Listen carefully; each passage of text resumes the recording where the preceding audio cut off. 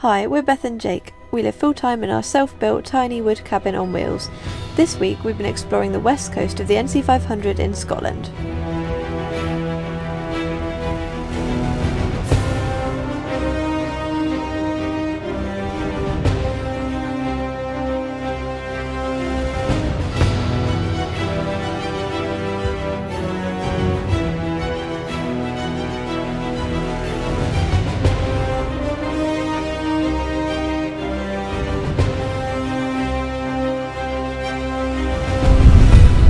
Everyone, welcome back. This week we're continuing on with our NC500 journey and we are doing the west side of it. hmm And we're very excited because we are right now outside of Kylesku Bridge area and it's already phenomenal. The mountains here are just crazy and we can't wait to bring you along and show you what we get to see. Our first stop was the Wailing Widow Falls.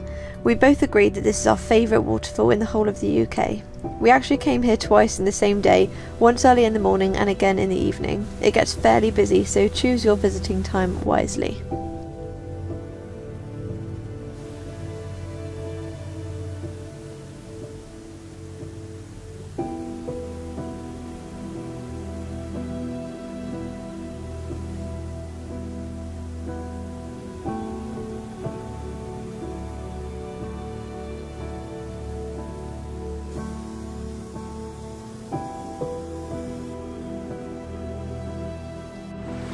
So we're just on our way back from that waterfall now.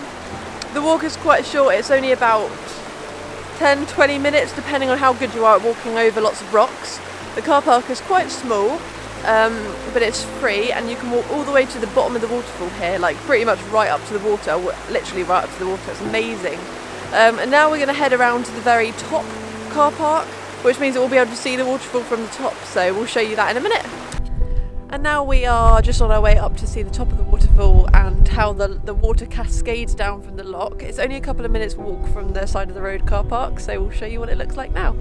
Get ready because we are about to show you the very best view of this waterfall and the loch above it. Just be careful if you choose to walk to the top as it can get really wet and boggy.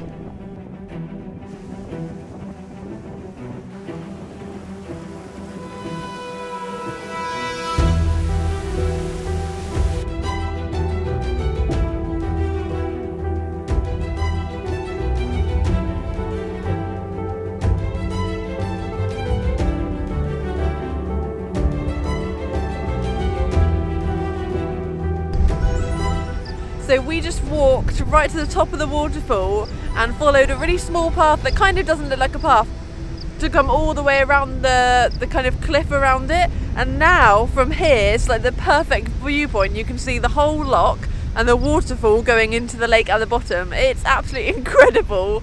And I think that not many people were brave enough to kind of walk all the way up here and see the view or even know that you can. So we feel very lucky to be up here at the moment.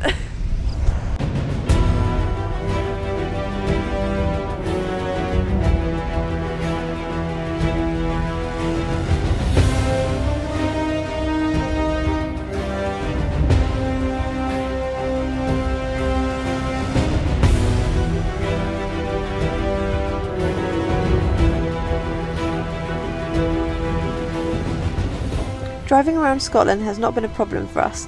Yes, there have been some extremely narrow roads, but because our van is so small, it's been a breeze. The problem is, the views are so incredibly breathtaking, it can be a little distracting for the driver. That's why we make sure to take lots of little breaks to have a good look around.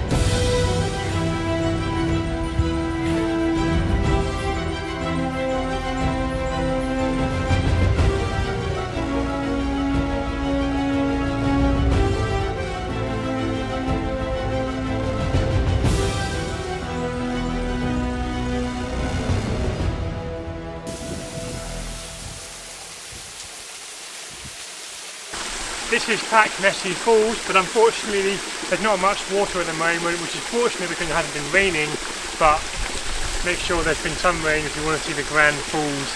Uh, but otherwise it's a very nice place and a little short walk to get here and the drive to get here whoa, is sublime if, like Beth, you are confident at driving a very narrow road with steep drop off on either side.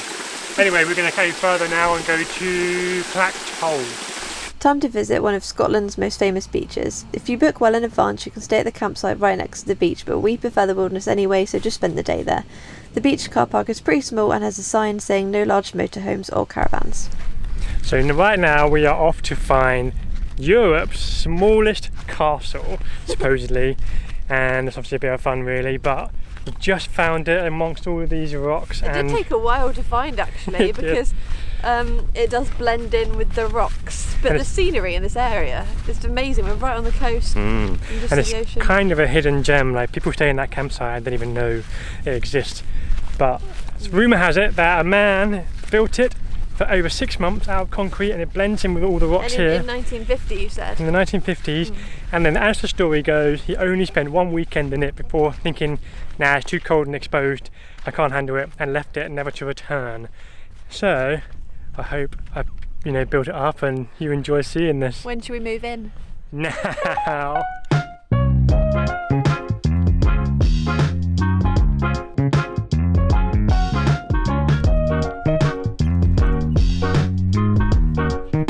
Right, we found the entrance, but I had to take my backpack off to get in. Whoo!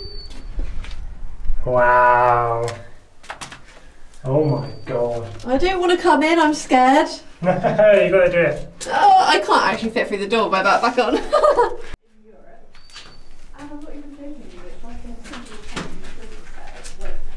Wow, so it feels a bit more like a prison than an actual castle. It's a one room thing.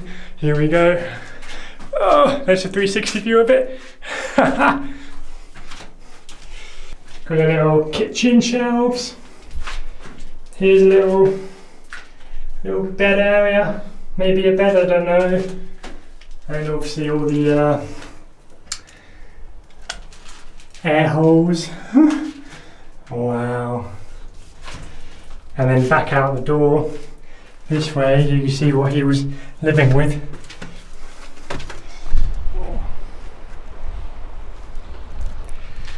Would you like to come stay here? Maybe buy it? Let us know.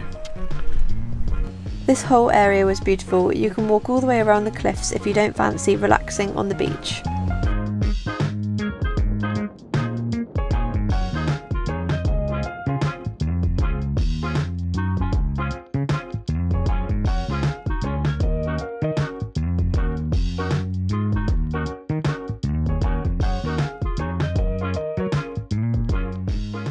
As much as it's great to plan all of the places you want to stop at, sometimes you'll just come across some cool things while you're driving. Here's a perfect example of that. Whilst trying to find a nice little place to park for the night, we stumbled across this small castle ruin. We've just stopped off at a little castle ruin. It's beautiful. This is officially the first time that we have been really having a midgie problem because they are everywhere. Like on the walk here, we just had to cover our mouths and nose because we didn't want to breathe too many in. But it is absolutely beautiful. You can see behind me um, the reflection, the castle. Um, yeah, it's amazing. We'll put the name of this one down here because I've forgotten it already.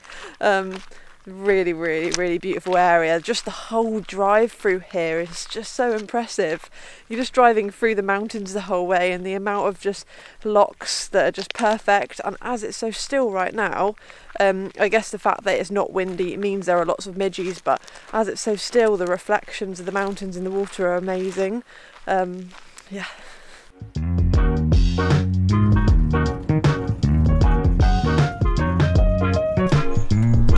Okay, so it's another day, and we spent last night driving quite a bit. Um, some amazing scenery through all of the. I don't know where it was called because I don't know where it was, but it was amazing. And the Um, reason, uh, sorry, the reason it was so amazing is 'cause we haven't really driven kind of late at night before, but we were driving up until about half ten, or no, about quarter past ten we finished driving, and the sunset colours were incredible. We saw loads of deer, we saw loads of rabbits. It was amazing. Um, so we enjoyed our evening driving experience. We did, and then this morning we went to Ullapool for a quick pit stop. I went to the large Tesco's they have there to We're pick up. very excited. Here we were, biggest shop in a long time, and uh, now we have uh, come into the last stretch of the NC500, and we just pulled over at a marvelous spot, looking looking over overlooking Corrieshalloch Gorge. I think it should give you a show. it's really nice. And so I think yeah, I think we've really got a day or two left of the NC 500. Um, And then our plans after that is to explore the Isle of Skye and to do Glencoe. um, Glencoe as well because the weather was so bad last time we were there. but this all depends on midges because so far we really haven't had any problem with them at all.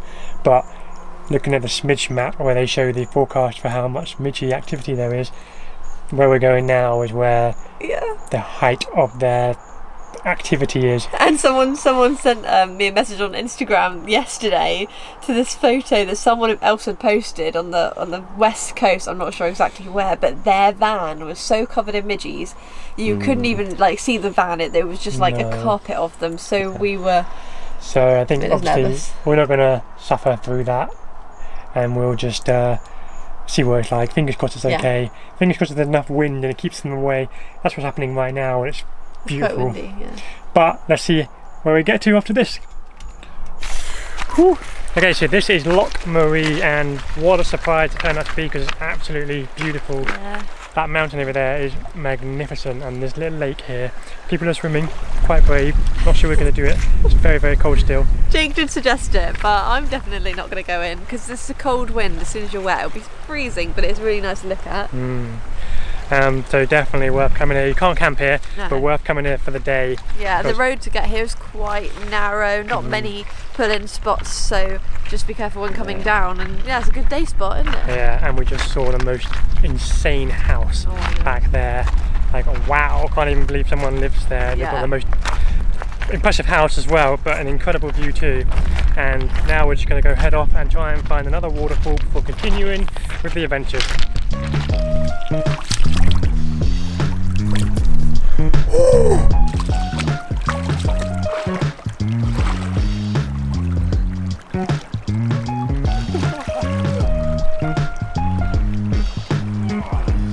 Next, we visited Victoria Falls. Due to a lack of rain, which we were very happy about, the waterfall didn't have much water.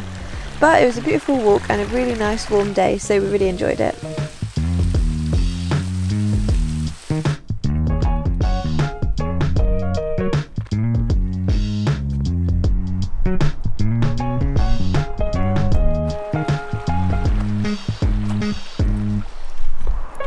We just pulled over at a parking spot, and so I have no idea what, the, what this place is called, but this is amazing. Gosh, was wow! It looks like a. It looks like we were in some tropical island somewhere.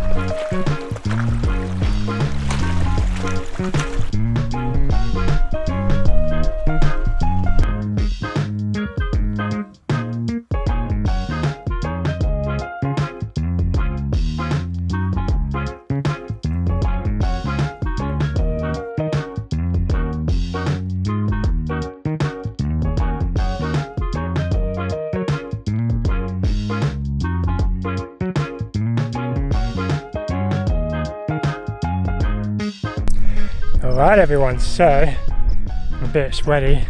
So I've just uh, done a hike near where we've been parked up.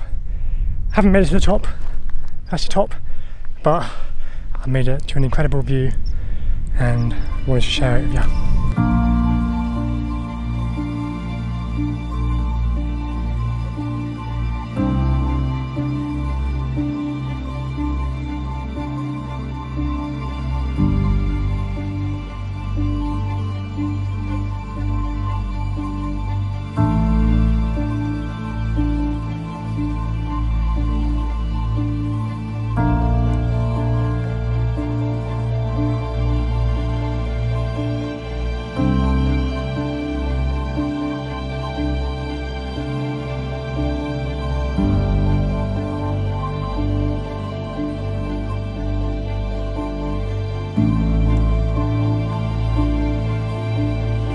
Hope you enjoyed that. I loved it being up here all by myself. That's why I got the drone up because there's no one else around. So I thought I wouldn't be bothering anyone.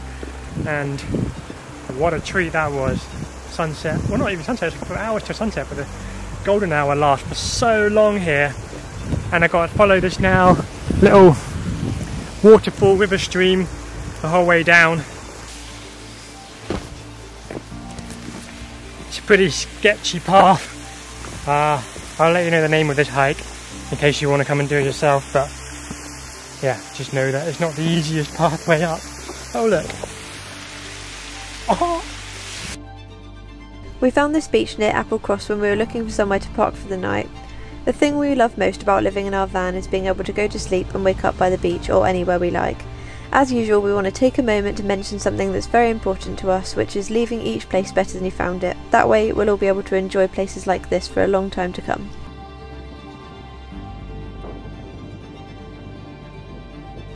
If you enjoyed this video, please feel free to subscribe and give us a little thumbs up. We really appreciate every single person who watches our videos. So this beach is just a spot near Applecross. Um, we were going to include the next stop in this video, but we decided to spend a, a, day or two here in this area because it's just amazing and we've got such good weather at the moment. Yeah, we don't want to miss out on anything. We've been working a lot over the last couple of days and we just like to spend some time chilling and from this beach you can see the Isle of Skye and the mountains in the background is just amazing and the visibility is really good today and mm. some of the mm. mountains are like perfect triangles like this one and this one so we're just excited which means we conclude our NC 500 trip here however make sure you join us next time because we will be tackling the infamous Bealach na Bà Pass uh, so and that's going to have its own separate video because it's it's quite an impressive pass to drive through so we mm. thought we'd, we'd give it its own video yes and we just want to enjoy this spot here for a bit longer yeah. without rushing it so we hope you enjoyed today's video uh, let us know your favorite part it's certainly been an amazing place to drive through and to explore yeah. we wish we could have seen more of it but there were some days we just couldn't do more and the midges yeah, and it got quite busy in some of the car parking spots mm. which meant we just had to drive past it which is a shame but yes the midges weren't too bad though, which is always good. Mm. It's a bit windy, so I think that's keeping them away. However, I think Skye and Glencoe again is where they truly are in their billions. But you'll soon find out when we find out, so mm -hmm. we'll, we'll, see you next, next time.